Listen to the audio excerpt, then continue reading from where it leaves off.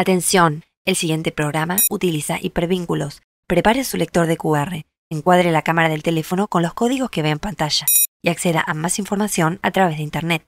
Muchas gracias.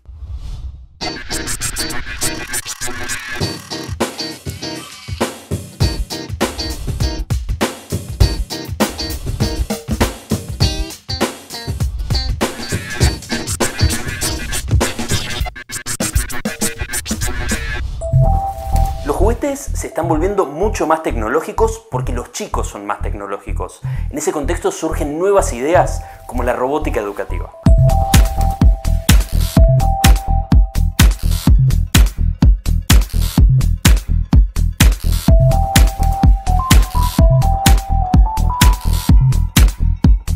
Bueno, José Luis, contanos qué es la robótica educativa. Bueno, mira, la robótica sabemos así en general que son mecanismos que tienen un cerebro que admite ciertas interacciones con el ambiente, pero eso es un robot. Aplicado a la educación es ya una cosa que está pensada para eh, involucrar a los chicos en la tecnología con una finalidad eh, muy positiva en sus eh, aprendizajes. Todo eso conlleva una conjugación de mecánica, física, informática, arte, porque hasta se trabaja en cosas de arte. Bueno, es tanta el área que abarca que al chico le abre un horizonte, un panorama en lo que hace la tecnología, que no hay otra materia que le dé todas esas cosas juntas. ¿Cuáles te parecen que son los beneficios en los chicos? Bueno, desarrollo de la creatividad, motricidad fina, eh, desarrollo intelectual en general, introducción a la tecnología, como ya lo habíamos hablado. Eh, después, el, hábito de trabajar en equipo, el, la confianza, el aumento de la confianza en sí mismo.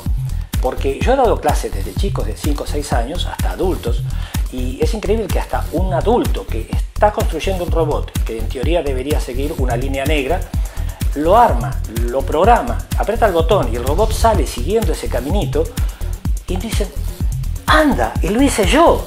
Y estamos hablando de un adulto. Un chico se muere. Se muere porque eh, no lo puede creer. Eh, también, eh, es más, los chicos están ya nacieron más con esta tecnología.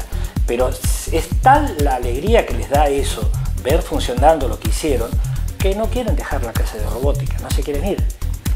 Vienen los padres a buscarlos y no, no, no. Quieren seguir con clases de robótica todo el día. Contanos un poco qué robots se hacen acá, qué cosas pueden encontrarse los chicos. Bueno, eh, lo primero que hacemos es empezamos con mecanismos básicos, con unas reducciones de engranaje para que un vehículo pueda tener eh, fuerza, pueda tener eh, velocidad. Después a ese mecanismo de fuerza, por ejemplo, le ponemos una palanca y si en vez de la palanca le ponemos una pala, tenemos un mecanismo que mueve una pala mecánica que baja, sube, y si esa pala está montada en un brazo que hace lo mismo, podemos hacer que todo el brazo con la pala baje, sube, pueda cargar algo y después para que pueda recoger un obstáculo en el medio del camino. Y, y después se van haciendo cosas cada vez más complejas en forma gradual. ¿Cómo se les enseña a los chicos esto? Pues es muy compleja la, la programación. ¿Cómo, ¿Cómo, se va bajando este, este Mira, conocimiento? Eh, no es complejo. Es complejo si yo te digo programar eh, un robot como el humanoide y hacerlo andar. Eh, es complejo. Pero primero van empezando en forma gradual, cosas sencillas. Primero con un plano o con un robot ya o un mecanismo como muestra. Ellos van aprendiendo a interpretar planos, eh, miran un lado de la cosa y comienzan a imaginarse lo que hay detrás de lo que ven, que eso requiere cierta habilidad y la van adquiriendo.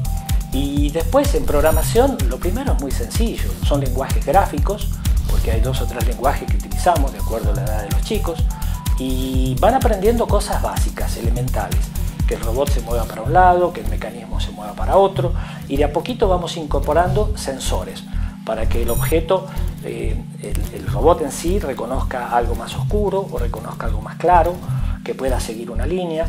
Lo interesante es que a veces vienen con ideas que nacen de una referencia mía. Cuando ven una pala mecánica en la calle, fíjense cómo trabaja, qué articulaciones tiene, si tiene un pistón hidráulico, dónde está apoyado, cómo hace para levantar el brazo, cómo hace para bajarlo, observen, miren, vean en su casa qué cosas tienen movimiento, imagínense cómo las harían, vean un crique, cómo funciona un crique para levantar una rueda de un auto. Y yo eh, me vuelvo loco cuando viene un pibe con un boceto y dice, yo quiero hacer esto, y era una especie de tijera como la de un crique, poner abajo un vehículo y arriba le hacemos un avioncito, entonces cuando el vehículo se mueve, que eh, esto se extienda así y el avión haga como que despegue. Lo hicimos y funcionó, el vehículo avanzaba y el avión parecía que iba despegando. Eso me enloquece, que, que ellos realmente se concienticen de eso, investiguen, hagan, que la clase de robótica no termine acá que sigan sus cabecitas y siga dando vuelta cuando están fuera de la clase.